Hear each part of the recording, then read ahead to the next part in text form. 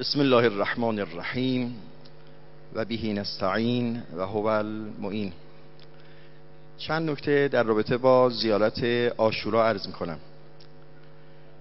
از زیارت های معتبر و مشهور که در همه زمانها در همه مکانها مطلوب خوندنش زیارت آشوراست که فرمودن با دو رکعت نماز همراه زیارت آشورا که برخی از علما فرمودن قبل از زیارت و برخی فرمودن بعد از اتمام زیارت آشورا این دو رکعت نماز خونده بشه.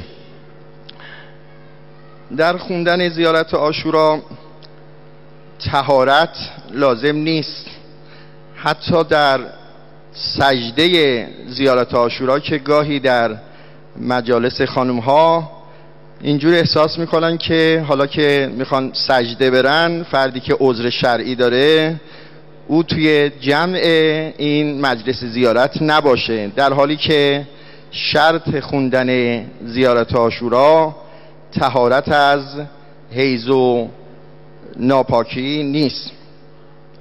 نکته دیگه مستحب به صد بار سلام و لعن رو در این زیارت آشورا در اواخرش آمده خونده بشه.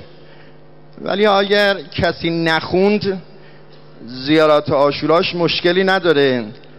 یعنی شرط صحت زیارت آشورا خوندن این صد سلام و لعن نیست بلکه شرط کماله. بعدم لزوم نداره توی مجلس هم خونده بشه. یعنی حالا اگر این تمام کرد زیارت آشورا رو در بین راه این سلام و لعن رو بگه مانعی نداره.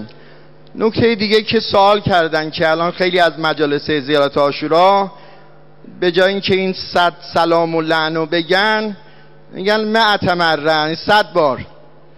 این مقدار یا 99 بارم اضافه بگیم. حالا به فارسی یا به عربی. این چطوره؟ بعضی از این کتاب های استفتاعات جواب فرمودن که رجاعا مانعی نداره. اصلش اینه که کامل بگیم. ولی اگر کامل نگفتیم رجاعا همینش هم مانعی نداره. آخرین نکته این که خواندن دعای علقمه فرمودن جز زیارت آشورا نیست. شرط کمال خوندن زیارت آشوراست که این دعای علقمه هم خونده بشه. ولی اگر کسی نخوند باز زیارت آشوراش رو خونده و و درست هم هستش. و صلی الله علی محمد و آله طاهرین.